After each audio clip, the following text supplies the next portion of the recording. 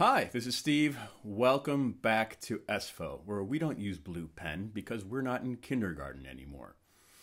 Blue pen is up there with the green highlighter and the mini stapler as far as useless office products. I'm sorry if you do like those things, but we don't use them around here at Ess-Fo.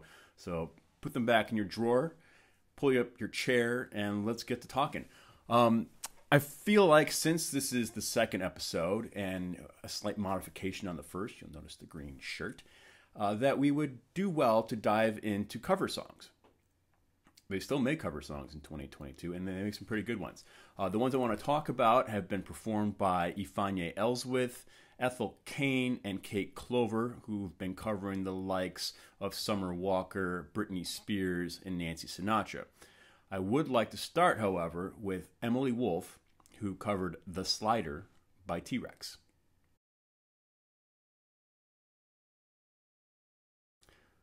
Wolf. T Rex. Wolf.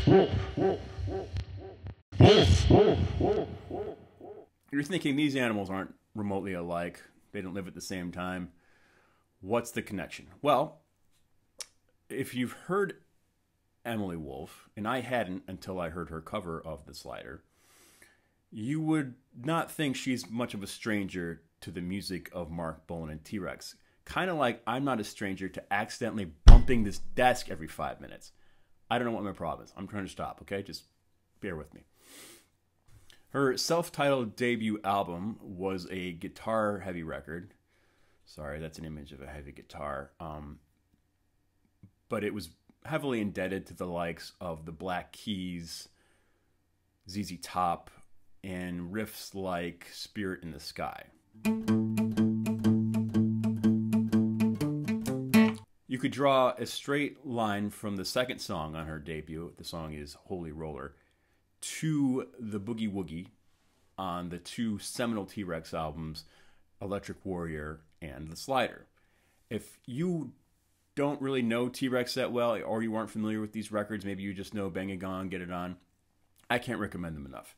Um, keep your composure, though. Don't go whole hog on the T Rex catalog. The early albums, when they were known as Tyrannosaurus Rex, are kind of hippy dippy stuff that wanders and I don't know. It's uh, I spent a couple hundred bucks acquiring those in the early 2000s and then I think in a couple years later, Rhino reissued them all on my ass. So, uh, yeah, save your money. However, Marc Bolan, who essentially was the band, had a sort of style that never lets you know if he was really in on the entire joke. Kind of like Glenn Danzig. He would write these sort of campy songs with silly lyrics and guitars and drums that were primed for 70s teenage hormones.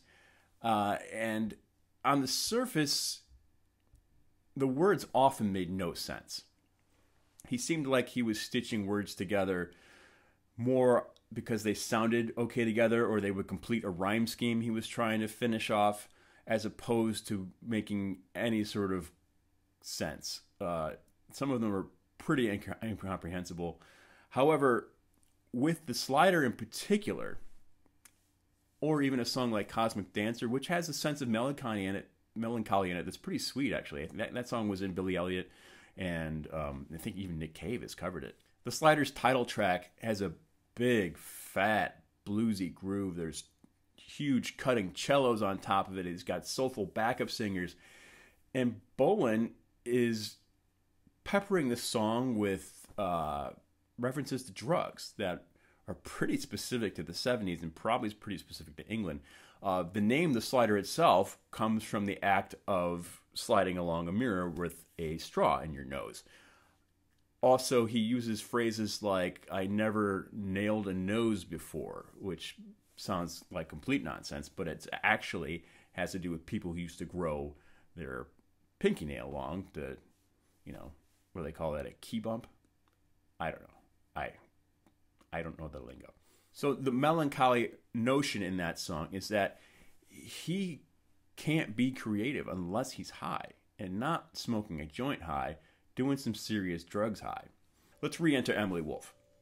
Her second and most recent album, called Outlier, pulls back from the guitardom of her debut and experiments more with what we will call in music um, electronic textures. That's a picture of electronic textures. You Google electronic textures and you get pictures of circuit boards. Emily Wolfe is making circuit boards. That's what I'm trying to say. The Slider, which was released by Wolfe only as a single, is a marriage of her two albums. And it's got the deep, heavily detuned. I think she tunes down to C. Is that a C note? Um, and there's still it's kind of a pulsing, grinding sort of sound with her sort of vocals framed a little angelically. So when she sings the chorus, and when I'm sad, it creates a layer of beauty that Marc Bolan maybe wasn't capable of. Anyway, it's a fantastic cover because it's one of the rare ones that develops the original song and pulls more out of it than perhaps you knew was there originally. Anyway, links are below. Check it out. I don't want people to think I was passing judgment on drug use earlier. I'm actually all coked up myself. So let's let bygones be bygones, okay? Carry on. Slider. Slider. Wait, that's also the name of the guy in uh, Top Gun. Oh, Rick Rossovich, you dirty dog. So there's a running joke about the Grammys regarding the Best New Artist category, since the criteria for nomination doesn't seem to exist. It might be your first album that's being celebrated, or maybe, you know, hey, is this album seven?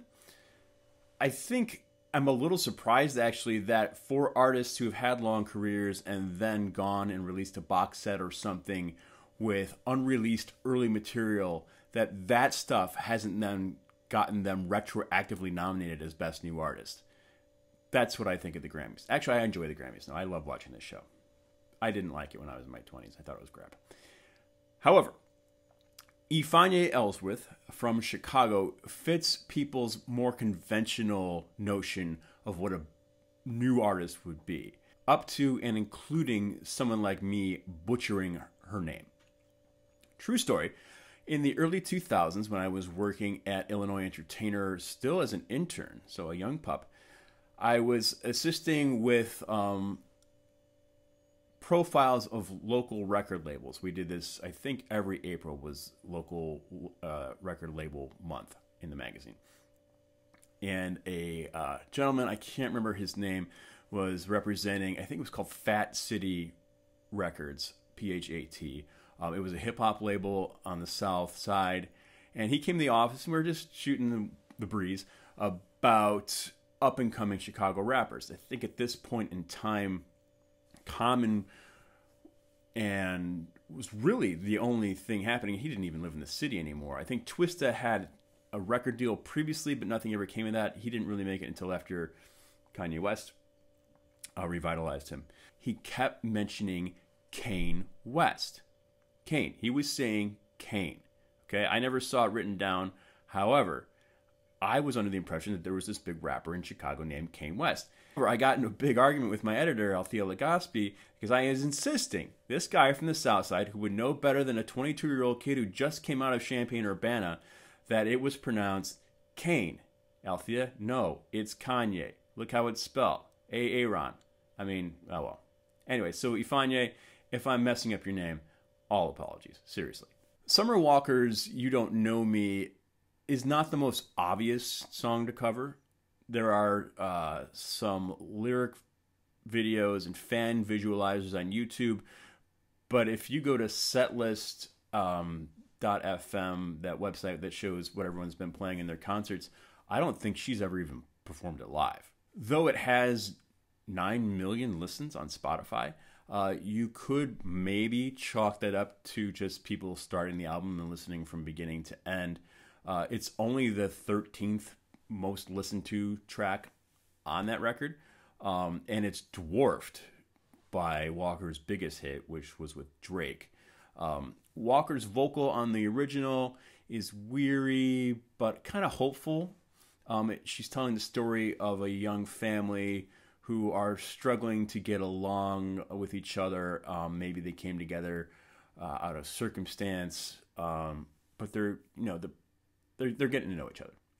The arrangement is strangely busy for what's essentially just guitar and voice. Uh, whoever I didn't check to see who did the production on it, but they kind of they had a bad day on this one. What Elswith does with the track is she adds a beat, she ditches the first verse entirely, she starts writing with the chorus, which is just "You don't know me," um, and she changes the tone. She kind of latches onto a sense of disappointment. Um, the hopefulness of the original is gone, and the more she repeats the chorus, "You don't know me," it sounds more and more like you don't know what I'm capable of. It's almost like a threat. So, whatever reason she latched onto this song, she clearly thought she could improve it, and I would say she definitely did. Um, the video available, and links are below, um, is of a live performance, so it's a different version than the one you can find online via streaming. Um, both are fantastic and enjoyable, and do check them out now. Now. If the reasons for Elswith to cover Summer Walker aren't quite so clear, I feel a great amount of certainty about Britney Spears and Ethel Cain. Now, Cain, uh, if you don't know her, and I didn't, uh, there's a couple things you should know about her. Her methods are not subtle. If there's any levity in her music, it's well hidden. She's crafted an image of a sort of small town Lolita who has a substance abuse problem and in her spare time crafts these really dense tracks with reverb and echo and loops. Um, they're impressive. They're almost like buildings, they're so dense. Anyway, when you hear that Cain is covering Britney Spears and you know that Ethel Cain is a very serious artist, you think this could break one of two ways. Either she's loading a throwaway pop song with so much dramatic and atmospheric reverb that she's kind of just fabricating depth where there wasn't any there to begin with. Or you think this is her chance to take the piss. I don't know if I ever heard every time when Britney Spears originally released it in 2003. I certainly didn't know it was her first meaningful songwriting contribution. I also didn't know that it was about a certain high profile breakup. Among the other things I don't know is whether Ethel Cain has ever dated Justin Timberlake. But I do know that he or his breakup with Britney as proxy haunts her. She suffers the song's heartbreak not like the end of a relationship, but like it's a death. Reverb, echo, vo- vocal loops. They blanket her, and she doesn't seem to notice. The loss envelops her in as waves until she's finally swept out to sea, and she's standing at the bottom of the lake, and she doesn't even put her hands up when she sees the light. She's just going to stand there. She's just so shaken by this whole experience. Um, this is heavy. I mean, it's it's very deliberate with the slow pacing and the haunting vocals, but her cover of Every Time is a hands down engrossing cover. It's an absolutely gorgeous piece of music. Um, it makes me think I should have been paying a much closer attention to Britney Spears because I did not know the potential for this was there. It's an excellent cover song. I recommend you check it out. Links are below. There is a Tumblr page devoted to the allegedly 200 plus covers of these boots were made for Walkin' by Nancy Sinatra and Lee Hazlewood. Um, let me look at my list here. The Supremes, I'm not going to read all 200. The Supremes, David Byrne, Megadeth, Billy Ray Cyrus, Jessica Simpson, KMFDM, Geri Halliwell from the Spice Girls, David Hasselhoff, and even Sarge, a uh, punk slash emo band that was at the University of Illinois, same time I was back in the late 90s. Los Angelino uh, Kate Clover saw a gap in the 200 and has decided to release her own cover of the song. Um, I don't need to explain the song nor the many ways it has been contorted.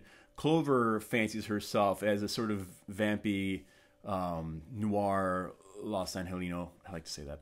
Um, who's inspired by X, you know, and also not just X. This song you can tell she's listened to the X offshoot, the Knitters, which was where John Doe and Exene Cervenka went um, when they went country. She subs out the bass line so that it's played on a tremolo heavy guitar, um, and she sasses out the lyrics. Uh, did we need another cover? I don't know. It doesn't matter. It's, it's, a, it's a fun one. It's worth hearing. Links are below. Anyway, thanks. Click like, click subscribe, leave comments. Uh, leave comments about more cover songs. Everybody loves cover songs. Everyone can use more ideas for their mixes, and uh, I would I would love to see what you guys are listening to out there. All right, take care.